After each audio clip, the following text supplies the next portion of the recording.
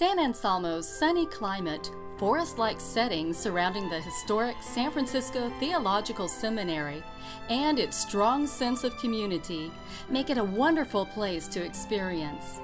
Sunset Magazine readers voted San Anselmo Best in the West for antiquing, and the town is distinguished as the Northern California Antique Capital. Creekside restaurants and cafes, galleries, antique shops, boutiques, and a small winery contribute to downtown